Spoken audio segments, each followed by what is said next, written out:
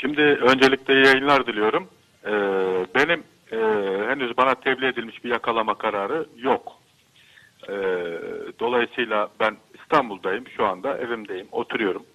Ee, yakalamak isteyen arkadaşlar buyursun gelsinler. Kendilerine çay da ikram edebilirim. İftar vakti geçti.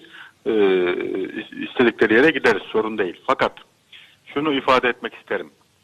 Ben Cumhuriyet Halk Partisi'nin milletvekiliyim. 24 Haziran tarihine kadar da milletvekili olmaya devam edeceğim. Ee, sosyal demokrasiye gerçekten inanan, Türkiye'nin sol bir siyasetle e, yaşadığı bu buhrandan çıkabileceğine inanan bir siyasetçiyim. Benim hakkımda e, FETÖ'ye üye olmamak ile birlikte yani FETÖ üyesi olmamak ile birlikte yardım etmek şeklinde bir soruşturma e, açmışlar.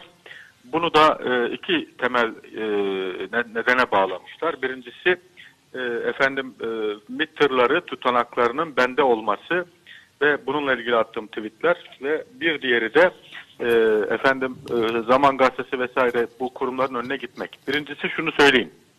Ben Cumhuriyet Halk Partisi Medya Komisyonu üyesiyim. Herhangi bir gazeteye gittiğim zaman kendi kafama göre gitmem. Benim gideceğim her gazetede e, mutlaka bir talimat vardır. Partimin bir e, iradesi vardır. E, Zaman Gazetesi'ne de Sayın Genel Başkanımız Kemal Kılıçdaroğlu'nun e, e, o gün e, Enis Bey cezaevinde değildi. Medya Komisyonu Başkanıydı. Ona vermiş olduğu talimatla biz oraya gittik. E, bir diğeri de MİT'tirleri tutanakları e, hususunda yaşanan hadise.